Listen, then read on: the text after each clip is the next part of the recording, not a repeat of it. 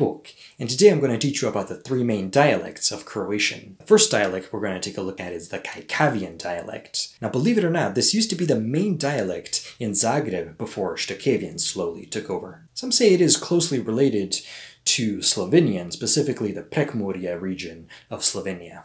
Now, Kajkavian got its name for the way they say the interrogative word what, or kai, Kajkavian. Next up, Chakavian, spoken mainly near the Adriatic coast and some of the Adriatic islands. It has many subdialects and is nowadays spoken by only around 80,000 people in Croatia.